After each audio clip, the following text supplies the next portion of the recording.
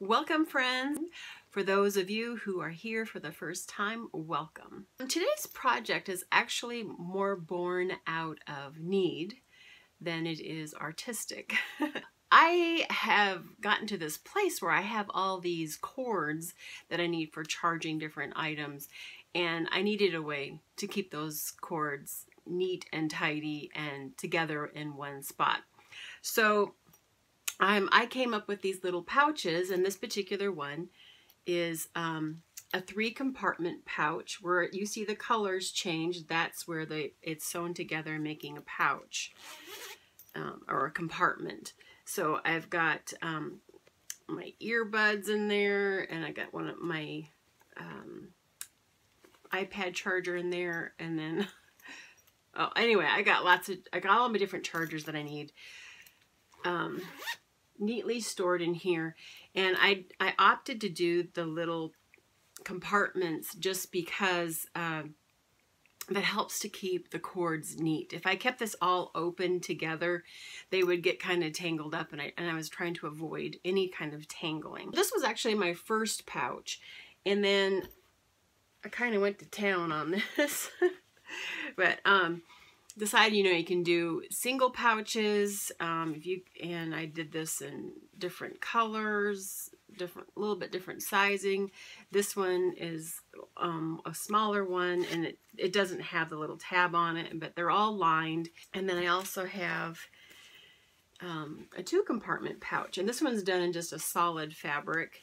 And again this one you know it's lined as well. This is the um, project for today. These would actually make really great Christmas gifts. Everybody has cords and everyone's trying to figure out ways to keep those cords neat and tidy and together in one place. It's a fun little personalized gift that you can make for somebody that's in your life. And just real quick, um, want to encourage you all to um, head over to Facebook if you are a Facebook member. Look for Heidi Creates 1965. That is my Facebook page, and there is a great way for us to share um, what we're making, um, ask questions, and yeah, just have a good time encouraging one another in our creativity. Let's get to our project, and we'll see you on the other side.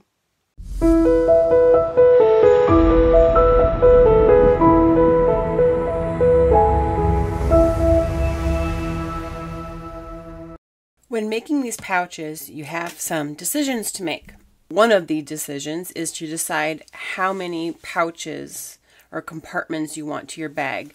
Do you want it to be a one compartment pouch? Do you want a two compartment pouch? Or a three compartment pouch? The next decision is if you decide to do two or more compartments to your bag, do you want them, the outside fabric, to be all the same fabric? Or do you want your bag to have each compartment be its own separate piece? And I haven't done this, but I mean, you could have the front side, every one of the front sides and every one of the back sides, you know, completely uh, different pieces. You could use it fabric scraps for this particular project. For this tutorial, I'm going to be doing this two compartment pouch. Down below in the description of this video, you will find all the measurements that you need for making either the different panels or for making the solid panel on the outside main fabric. I did lose some footage, um, so I needed to do a retake, and so you're going to see some different fabric in this particular clip. But once you have all your pieces cut, the first thing that you need to do is actually take your lining fabric and your interfacing Put the sticky side of the interfacing to the wrong side of your lining and press those together. The next step is to sew together your panels for your outside main fabric. Now, if you've decided to use a single fabric on the outside, then you can skip this step. Otherwise, take the pieces that you have decided on and in the arrangement that you have decided on, you're going to sew them together, being sure to sew together the short side of the rectangle. So in this instance, it'd be the four and three quarter inch side. That's the side you're going to sew together using a quarter inch seam allowance. I've sewn both panels together and I've pressed the seam allowances um, to the darker fabric side.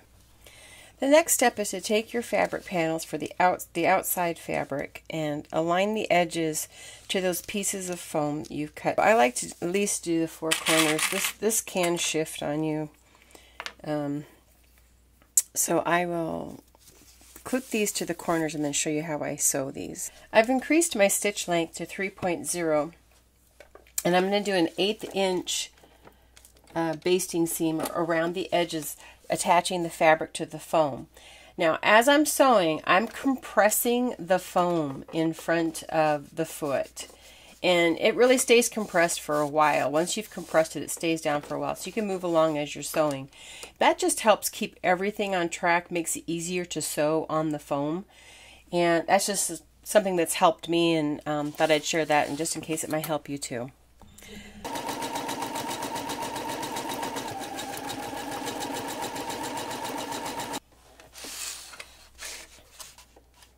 One of the things you can do is kind of pull and stretch the fabric a little bit to even fit the foam even better, keeping it nice and taut. I'm going to go ahead and finish all the way around this one and then the other one, and, and we'll go to the next step after that.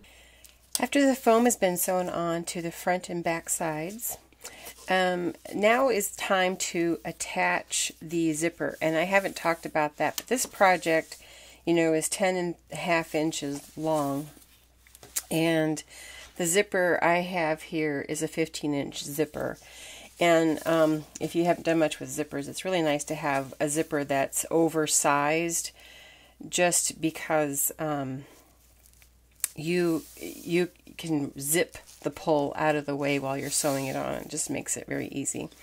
So what I'm going to do is I'm going to take the front side of the zipper, it's the side with the pull on it, and I'm going to face that down on top of my one of my fabric panels for the outside and I'm just going to position that how I want that right sides together.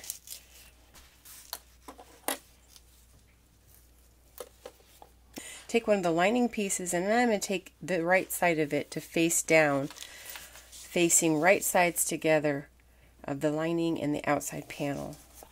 And I'm going to align the top edges and also the short edges together making sure they're completely plumb with one another. Just lift up the clips or pins, whatever you're using that you've put there previously to attach the outside panel. You can put a zipper foot in if you like. I don't like to use the zipper foot, um, but I'm going to do a quarter inch seam allowance and I'm going to stitch using a 2.5 inch stitch length also, if I haven't mentioned already, I am using a 9014 needle and all-purpose polyester thread for this project. Before you sew your zippers on, after you get them clipped, what you want to do is you want to mark a half an inch in from the end because you're not going to sew on this part, that one half inch. You're going to sew between the two half inch lines. So on either end where you're going to be sewing the zipper on, mark at half an inch. While you're sewing the zipper on, you can actually compress the foam as you're sewing it again just to make it easier to stay on track.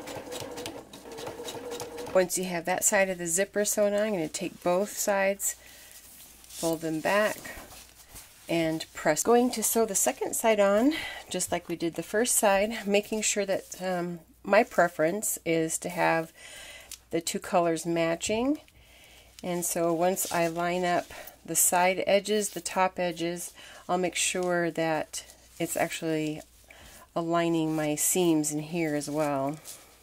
I'll go ahead and get that aligned. I got the second outside panel uh, clipped on and their right sides are facing. I'm going to flip it over now and right sides facing. But at the top edge of the zipper I'm going to attach the second side just aligning all the edges, sides, and top, and then just removing the clips and putting this in as I get to each clip. And then I'll come back. I marked a half an inch from both ends. I'm going to sew now a quarter inch seam allowance from that mark to this mark. I went ahead and pressed open that second side as well, uh, um, both sides away from the zipper. So I have now marked both sides of the zipper and a half an inch away from the end. You can see right there in red, there's those two marks. Down here I had to use chalk because this is a darker fabric, but I marked those as well, half an inch away from this end down here. So what I'm going to do is I'm going to stitch all along this zipper on these two panels over here, just eighth of an inch away from the seam. And I'm going to lengthen my stitch to 3.0 Again, not sewing in those areas half of an inch from the end. One of the things is you want to make sure that your lining underneath is pulled flush with this edge here. You want to make sure those are nice and lined up. And then also you can compress the foam again while you're doing this top stitching just to make it a little easier. Since I just got done uh, top stitching, I'm going to go ahead and take care of the tab that goes on the side of the bag. What I did with this, you know, it's two inches wide. I folded it in half lengthwise to make a center crease. Then I folded both edges into that center crease and then folded in half again and then press that really good. And then what I'm going to do now is go ahead and use that top stitch length of 3.0 and top stitch both an eighth of an inch away from the edge on both sides of this strip. At this point you can fold your tab in half and then if you need to go right, feel, feel free to stitch across this just to hold this tab um, lined up, folded in half. I'm not going to bother with that. But what you're going to do next is on the end where your zipper pull is when your bag is closed, that's where that's the end that you're going to actually install the tab. And you're going to do the folded side on the inside of the panel with the cut ends hanging outside the bag here. And I come down, I don't really measure it, just the top edge is maybe about an inch away from the top of the bag. And you can leave however much you want. I think I do about an inch and a quarter of the actual tab that's um, inside the bag. And just remember there will be a quarter of an inch seam allowance, so that'll also make it shorter, but an, an inch is about the right amount hanging out. And um, I'm just going to clip that real quick like that. It's time to sew it together. And so we're going to actually take the um, out two outside panels and fold them together over the zipper. And one thing we need to make sure that we do is open that zipper almost all the way. but we're going to bring the two edges of the fabric up together, leaving the interfacing facing down. And we're going to line up the top edges and the side edges and clip these together. And again, I'm just going to make sure that seam between the two panels are lined up as well. Clip that. And then I'm going to go ahead and clip all the way around the bag. I've clipped the main outside panels together and now I'm just going to bring the lining together right sides just like we did the um, outside panels. I'm going to clip that together as well. On the bottom, I've marked the fabric with a about a four inch opening or four inch space there. Just that's for turning this once we have this all sewn together. But I'm going to go ahead and clip all the edges together for this lining as well. And this next part is very important. Um, I'm doing mine bag just differently than a lot of people do theirs. On each side of this zipper, we're going to mark the foam side and the interfacing side a half an inch away from that seam allowance. So go ahead, mark down away from the edge that's sewn, you know, over there, which is the seam allowance. And let's really, I should get that down there a little bit more. And then I'll do the same thing on this side as well. There's my seam allowance. And then I'll measure this half inch away. And I'll do that on the other end as well. I just want to show you how I'm going to sew this.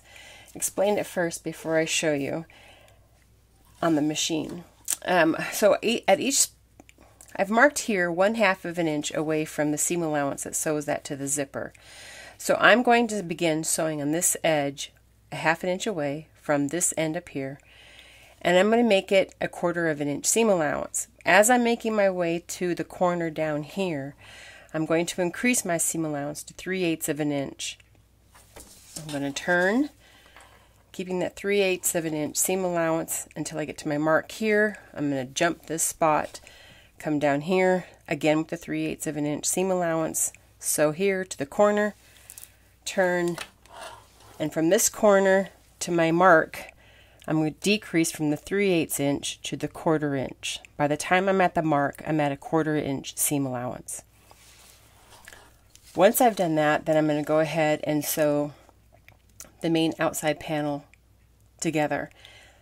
Pretty much in the same manner, but I'm just going to keep a quarter inch seam allowance the whole way around.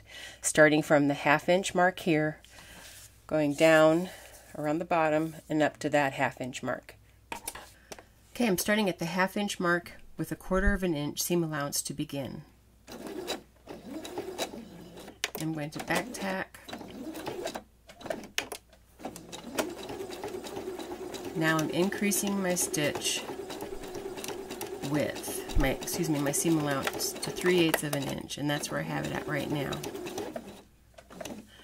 Put my needle down, lift foot, turn my work, and this is actually, and I have it go back one more stitch.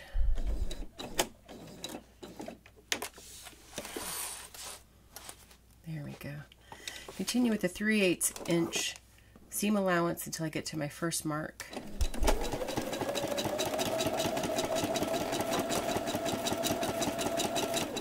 When I get to my mark, back stitch, lift my foot, and I'm just going to jump down to this edge where the other mark is. Making sure my bag 3 eighths of an inch seam allowance. Make sure I know where my mark is. Reverse my stitch. Keep the 3 8 inch seam allowance all the way to the corner. Pivot. Now, between this corner and my mark up here on this edge, I'm going to decrease my stitch to one quarter of an inch seam allowance. And now I've reached one quarter inch seam allowance. Back tacking. Trim that. I'm going to jump over now to the main panel side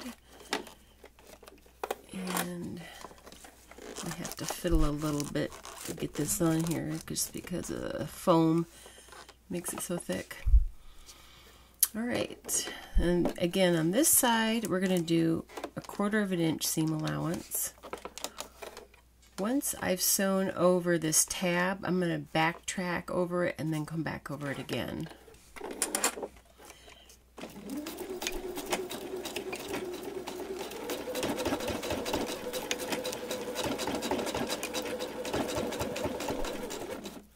Okay, and I'm just going to go ahead and finish going the uh, quarter inch seam allowance all the way around the main bag. I have the outside panel and the lining panel sewn together, right sides together. I haven't turned it yet because I want to show you what we're going to do with the ends. If you look at the ends, this is the lining side and this is the uh, main panel, outside panel side. When you look where they come together at, their, at the zipper, you'll see that this is apart because we left the half inch um, ends. So what we're going to do is we're going to actually fold the lining and the main fabric we're going to lay together with the zipper just like we did it before laying towards the middle. So what I'm going to do is I'm actually going to now lay that down and you can see the stitch from the side here and where we stopped. So basically what we're going to do is we're going to sew and we don't want to sew. If you look under here you can see the fold from the other side. Do not want to catch that. So I actually have my finger where that is. So I'm going to actually start. I don't want to catch that fold. So I'm not going to go any closer than this to the center.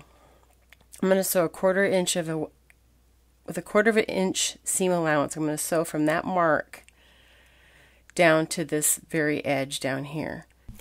I don't know if you'll be able to see the white on white, but I've sewn from that mark with a quarter inch seam allowance down to that edge. So now we're going to bring the lining to the other side. And we want to stitch the same way the lining to the main outside panel together using the same quarter inch seam allowance. And if you can't see it, I'll mark it. This is where my other stitch ends. And I want to make sure I know where that fold is. And the fold is actually right on the other side, right good spot right there. So that's a good spot to start actually sewing. Quarter of an inch from the edge, from this seam down to that edge. I'm going to sew the lining and the main fabric together. I've sewn that as well. So now these two, this end is sewn together now, right at the T, nothing overlaps. So I'm going to go ahead and actually cut off the zipper tails here, and then um, the excess fabric to this tab. Now I'm going to go ahead and go to the other side, and remember it's it's opened because they have this these ends have not been sewn together yet. So I'm going to go ahead and line these up just like I did the other side and sew them together. When you're getting ready to sew the side that has the closed end of the zipper, you also want to be sure that you're not sewing over that. Um, when you're sewing on this side, stay on this side of the zipper as well. So only do that much stitching from the zipper middle to over here. Alright, I have this end closed up as well, and I'm going to snip off the rest of this zipper. Don't need that on there. And next will just be trimming all the corners, making sure you do not cut through your stitching lines. All right, I've gone ahead and trimmed all my quarters, corners, and I'm just going to reach in there and grab the opposite corner of the foam side and just start pulling this so that it's right side out. I'll come back when I have that pulled out. All right, once you've turned it out, your ends should have a nice curve down the good pinched end there and these are kind of like doing a boxed corner um, when you're making bags. So here is our bag. So the thing that we need to do first before we do the finishing seam is actually just close the bottom of our lining. And I just do that with an eighth of an inch um, I do that an eighth of an inch away from the edge the folded edge but I just you know, finger press those in. And I'm just going to sew the opening shut. All right, once you have that closed up in the bottom, the key now is to get your lining pushed in there, your corners pushed all the way out inside, making sure everything is lying nice and flat. Once you have it laying perfectly flat in there, as flat as you can get it, we're going to zip it up and we're going to do a top stitch now. From this top stitch by the zipper, I'm going to do mine on the dark fabric side. That's the side that I pressed my seam allowance to. And I'm going to stitch from that stitch line, that's up there, an eighth of an inch inside that other stitch line, all the way down to the bottom. Back tacking at the beginning and end of this stitch line. And there you have it. It's all sewn together. Zipper open and closes just fine. And the compartments look great. The lining's lying flat we have a completed bag. So I hope you enjoyed that tutorial and that you get a chance to make a few for the special people in your life for Christmas. I hope everyone is staying well and staying happy. Be sure to take care of yourselves. And until next time, have a great one. Bye for now.